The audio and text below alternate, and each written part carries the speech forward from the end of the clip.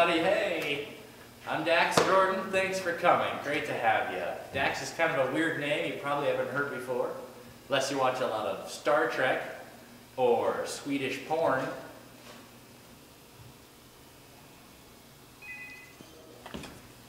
Are there, are there any dollar store, dollar store shoppers? Dollar? You know they have at the dollar store a pregnancy test. Really? Dollar store pregnancy test. Would you trust a dollar's worth of chemistry?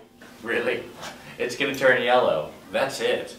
Anybody here date on the internet? Internet dates? If you meet someone through the internet, you can break up with them. Did anyone up there meet on the internet? Where are you guys from? What do you do for a living, sir? So, uh, you guys, uh, anyone dating?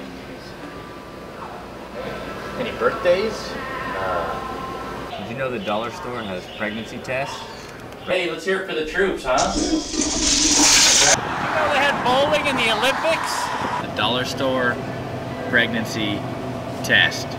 My name is Dax. It's kind of a weird name unless you watch a lot of Star Trek or Swedish porn. Are there any date rapists here tonight? Hey, how long have you orange ones been together? You ever take a shit so big you change boxing divisions?